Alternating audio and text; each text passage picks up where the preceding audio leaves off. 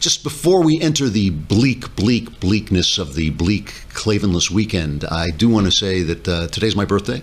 Oh, and happy birthday. thank you very much. I, I appreciate it. I'm 115 years old. I look great. And I just want to say That's Jess.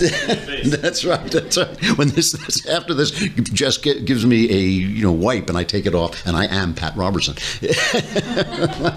but I just want to say what a pleasure. I'm. What a great time I'm having. I am really having one of the times of my life. I've had a couple of really great periods of my life. This is one of them. I love being at the Daily Wire. I love, the, except for the the people in this room accepted who are really. I mean, look at them. Uh, I mean, Shapiro and Jeremy Boring, all these people. They they are. If if you love them, you're right. They are some of the great people. It's just been bliss. You know, I, I have to say this. Uh, uh, we we do talk about Christianity here a lot, and I, I talk about my faith, and a lot.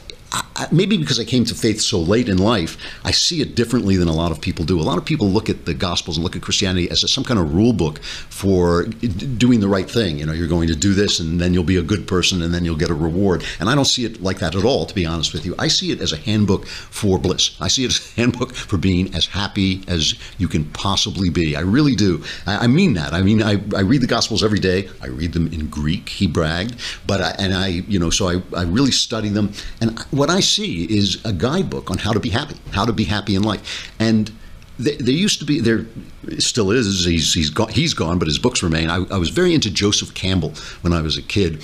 And uh, I would read his books. He was a, a great student of mythology.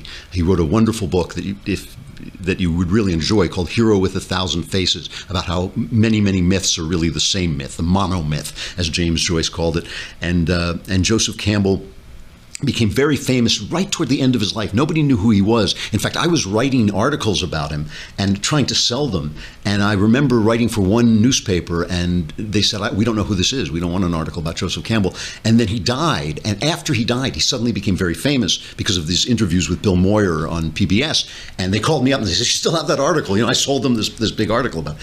And uh, he was a conservative. They hate to remember this because he's now the airy fairy kind of uh, left loves him, uh, but he was he was actually a conservative. And he, in this final interview that he gave, he said, "Follow your bliss." That is his advice at the end of his life. Follow your bliss.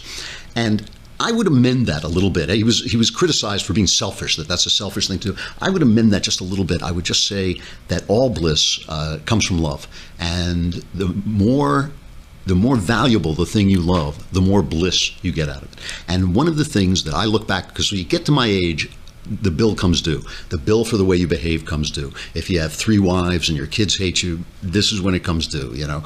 And I really feel fortunate at where I am in life. And it is because the one thing I did, even when I was crazy, even when I was really messed up, is I followed love. I followed, I married the woman I love. I had children I, and I loved them. And I do the work that I love every day. And I, you know, it's cost me some dough to do the work that I love, but I do the work I love and you get bliss from it. And like I said, the more valuable something is, the more bliss you get out of it. So I love uh, cryptic puzzles and I love the NFL and I get a little bliss out of that. I love a lot of people. There are a lot of people in my life who I love. I get a lot of bliss out of that.